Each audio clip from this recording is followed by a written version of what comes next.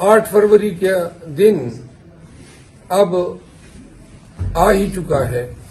आठ फरवरी के दिन जब वोट डालने के लिए निकले तो दो तीन बातें जहन नशीन कर लें। नंबर वन, आठ फरवरी अब वोट से ज़्यादा हमारे लिए सर्वाइवल का दिन बन चुका है, क्योंकि हमारी तमाम जदोजहद और हमारी तमाम उम्मीदों का महवर पाकिस्तानी कौम का वो रिजाल, वो डिटर्मिनेशन था, जिसकी तो हम आठ फरवरी को कर रहे हैं। अगर आठ फरवरी को आप अपने वोट का तहफ़ नहीं कर सकते या आप अपने एजेंट को वक्त पे कामयाबी से पोलिंग स्टेशन में दाखिल नहीं कर सकते, या आपको वोट डालने से रोके जाने की कोशिश करती, की जाती है, और ये कोशिश कामयाब होती है तो याद रखिए। कि ये बुजदिली होगी। तकरीबन तेरह करोड़ से ज़्यादा वोटर्स को डराने, हरासा करने या पोलिंग स्टेशन पर उनसे वोट का हक छीनने के कोई वसाइल किसी के पास नहीं है।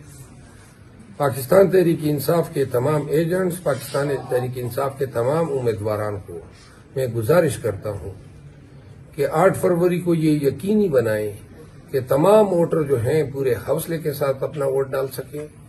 वोट डालने से पहले पाकिस्तानी ये बात नशीन कर लें कि आपने देख लिया कि आज तक पाकिस्तान तहरीक इंसाफ के साथ, कानून के साथ, इंसाफ के साथ, बुनियादी हकूक के साथ किस तरह खिलवाड़ हुआ? किस बेदर्दी से इन लोगों ने इन पाकिस्तानियों के हकूक पामाल किए?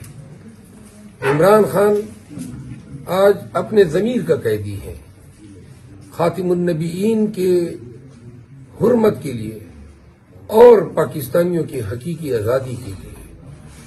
खान, बेगुनाह ये भुगत रहा है।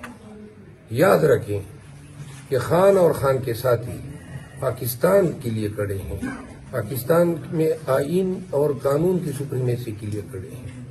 हम सबने मिलकर आपके लिए, पाकिस्तान के लिए आने वाले बच्चों के मुस्तबिल के लिए अपना सब कुछ दाव पे लगाया हुआ है।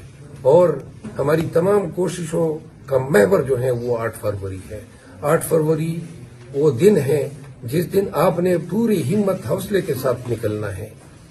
किसी की मजाल नहीं है कि वो आपकी कलाई पे हाथ डाल सके।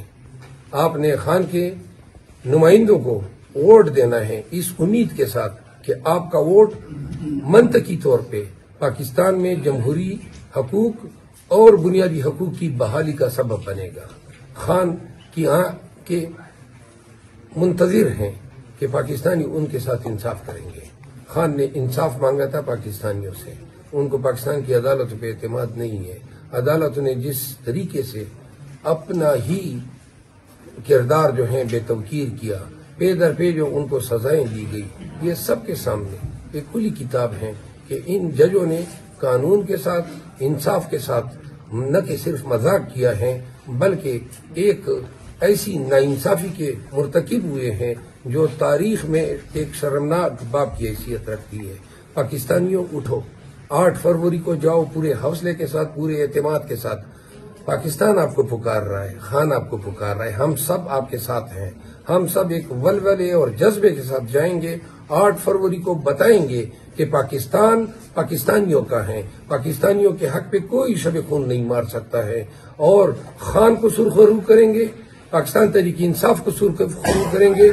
अपने आने वाले नस्लों के तहफ़ के लिए हम एक ऐसा सबब और सबील सबील निकालेंगे कि आइंदा किसी को बुनियादी हकूक हाथ में लेने, कानून हाथ में लेने या इदारों का, पुलिस का या कानूनी इख्तियार का नाजायज इस्तेमाल करने की ज़रूरत न हो।